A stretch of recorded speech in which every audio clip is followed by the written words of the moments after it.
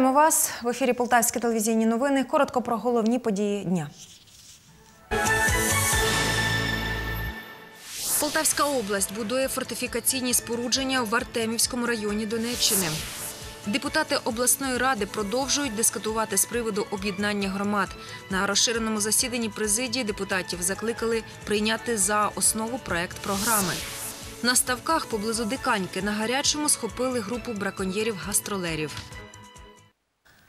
Згідно із завданням головнокомандувача та президента України на сході по лінії розмежування із бойовиками триває інтенсивне будівництво фортифікаційних споруд.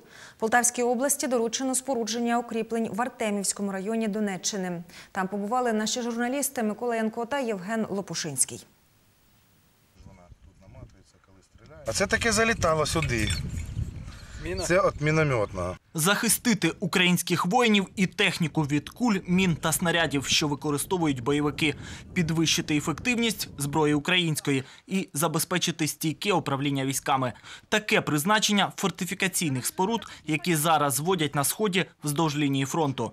Завдання від президента і Міноборони Полтавщині 13 зводно-опорних пунктів, а це понад 30 кілометрів укріплень протягом лінії розмежування.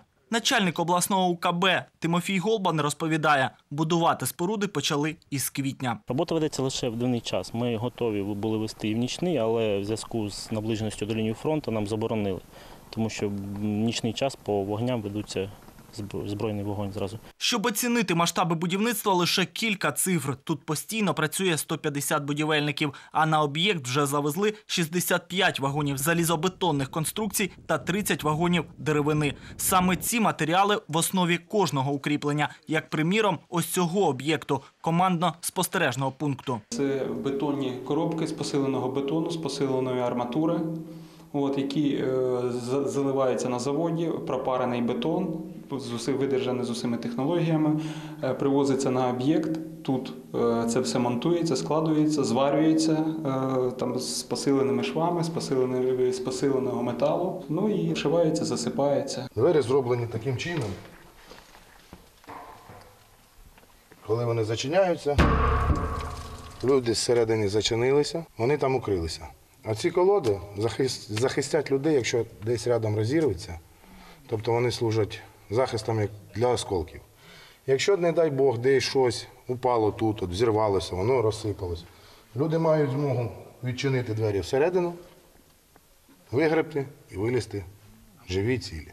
На об'єкті під Артемівськом, як власне і нарешті, є всі типи фортифікаційних споруд від траншеї окопів до бліндажів, сховищ, спостережних та командних пунктів. Ми знаходимося у перекритій щілині. Вона призначена для того, щоб під час бою встановити вогневу точку і вести прицільний вогонь по противнику. Інспектувати будівництво кілька разів на тиждень приїздить особисто голова Полтавської облдержадміністрації Валерій Головко та його профільні заступники. Перш за все, щоб врахувати корективи від військових, яким власне і тримати тут оборону від бойовиків. Є теорія, є практика. У нас був теоретичний проєкт, затверджений Міністерством оборони, були споруди і так далі. Але як їх розмістити, які додаткові, що ще потрібно. Ми не розуміли, розуміли ті військові, які тут були, і вони вже тут попадали під обстріли. Тому і виникли питання в додаткових роботах, виникли питання в габіонах, ті, які були на малюнках, але їх не було в проєкті, в тих же кумулятивних сітках, які теж були на малюнках, а вони потрібні.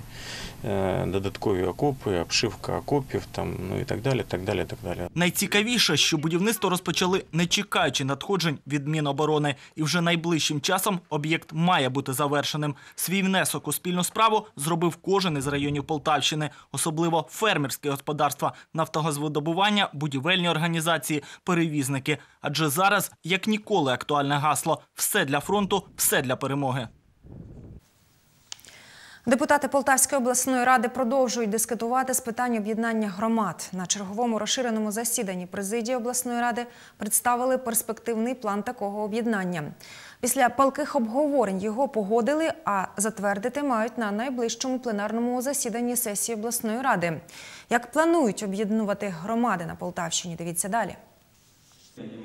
Голова обласної ради Петро Воруна наголосив, що закон про об'єднання громад дає право вибору і передбачає, що об'єднання має бути добровільним. Там, де громади не об'єднуються, вони можуть активно працювати за рахунок співпраці громад навіть об'єднуватися для того, щоб спільно надавати адміністративні послуги. На засіданні представили перспективний план об'єднання громад на Полтавщині. Виявилося, що вісім районів мають у своєму складі громади, які проти об'єднання. Це такі громади і райони, як в Карлівському районі, Кременчуцькому районі міста Білоцерківка, е, Кам'яні Потоки, Ялинці, Кобиляцький район, Світлогірський, Лохвицький район, Оржицький, Полтавський, Порятинський, Велика Круча, Шишацький, Ковалівка. Є питання по Оржицькому району, там поки що тільки визначились два центри е, майбутніх громад. Перспективний план, представлений облдержадміністрацією, передбачає створення на Полтавщині 134 об'єднаних громад. У деяких районах по одній, проте є й ті, що складатимуться із 26 окремих громад. Дехто з голів районних рад обурюється, як можна голосувати за перспективний план об'єднання, не порадившись із народом. Зразу потрібно знизу провести, а потім робити перспективний план. А ми зразу робимо перспективний план, а потім в нього будемо загонити е, е, сільські ради.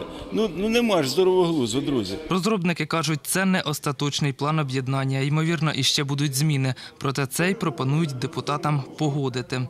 Остаточно ж його долю вирішать на найближчому пленарному засіданні сесії обласної ради.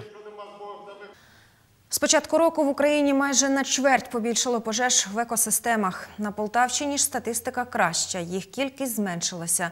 122 випадки проти 149 минулорічних. Але площ вигоріла удвічі менше. Хоча лісових пожеж сталося більше порівняно з 2014 роком 13. Голова ж обласної державної адміністрації Валерій Головко незадовільно оцінив роботу управління із питань надзвичайних ситуацій. Нагадаємо, нині на Полтавщині через спеку оголошено найвищий п'ятий рівень пожежної небезпеки. Показник пожежі. І не факт гасіння, а факт упередження і профілактики, що цього не відбулося.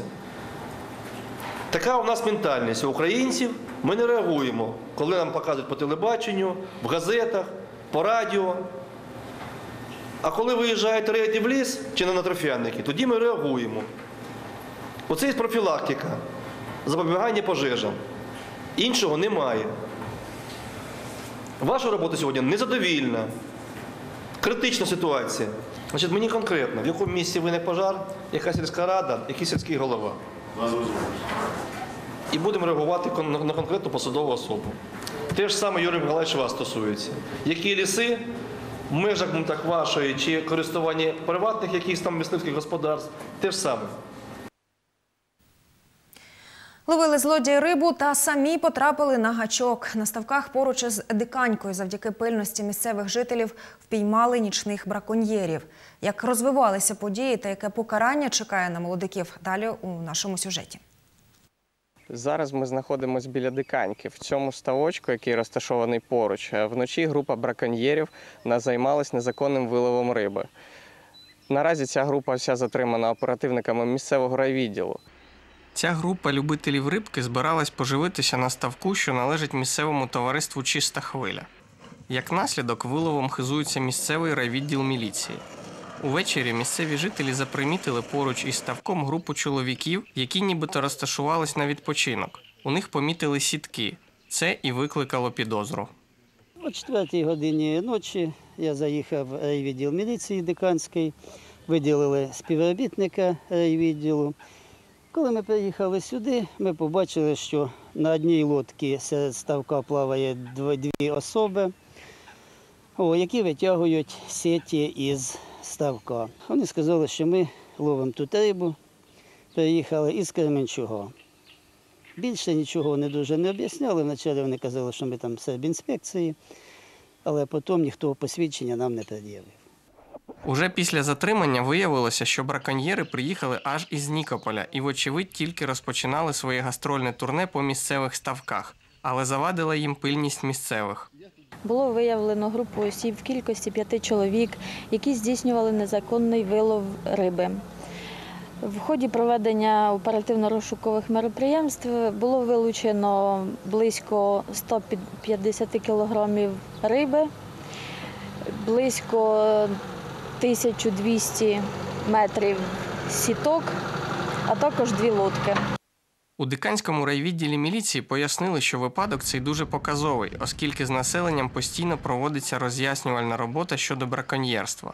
Власне, завдяки людям і вдалося затримати зловмисників. За це правопорушення на них чекає суворе покарання.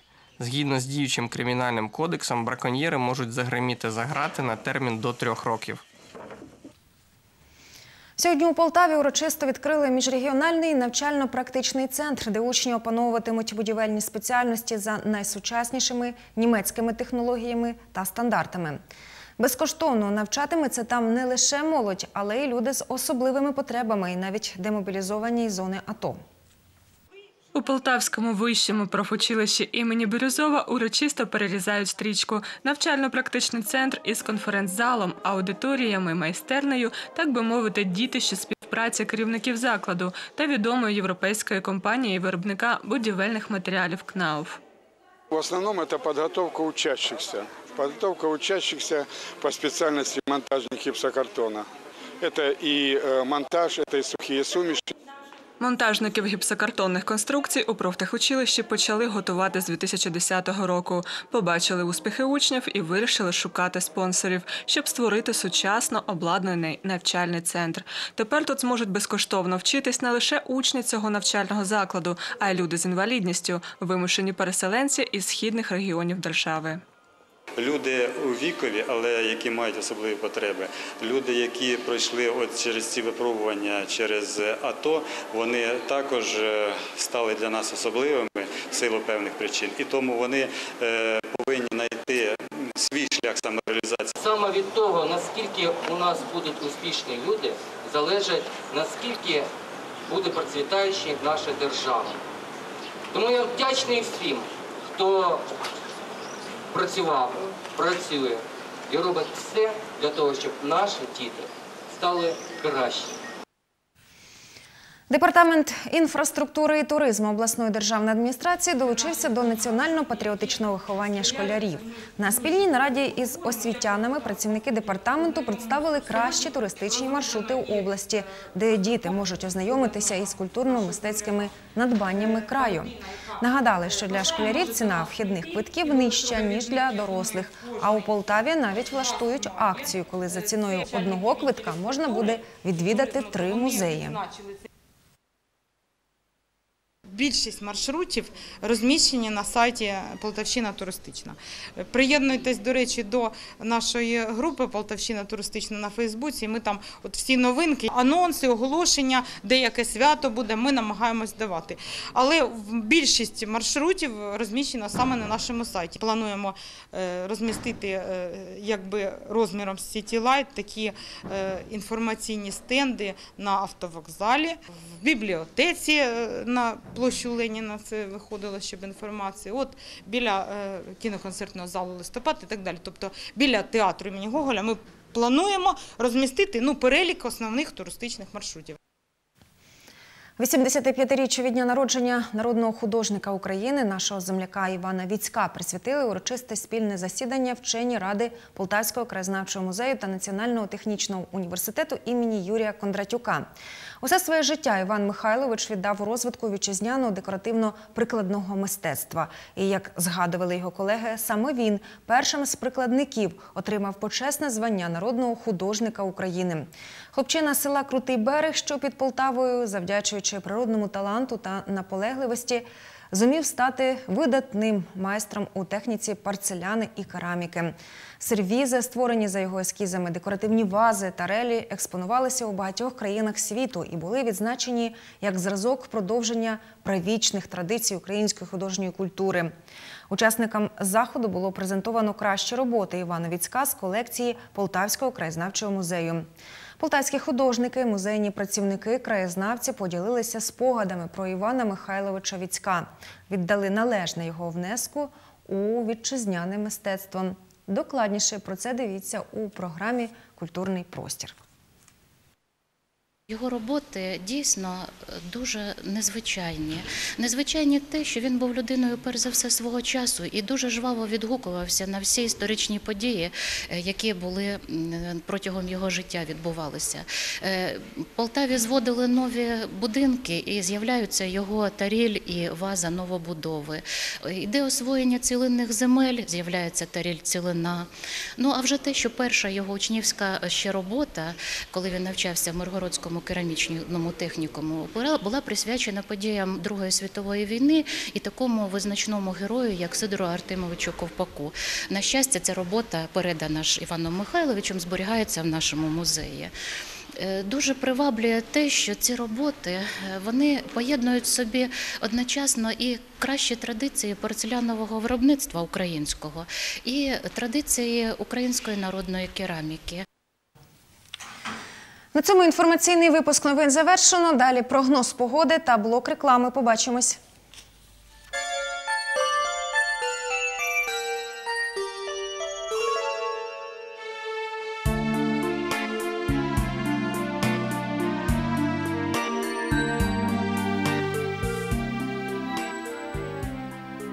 Синоптики повідомляють, що сьогодні вночі та завтра в день у Полтаві та області очікується мінлива хмарність, короткочасний дощ, гроза. В день під час грози шквали. Вітер північний 5-12 метрів за секунду, а під час шквалів пориви 15-20 метрів за секунду. Температура повітря по області вночі 13-18, в день 20-25 градусів тепла. У Полтаві вночі 14-16 з позначкою плюс, а в день 22-24 вище нуля.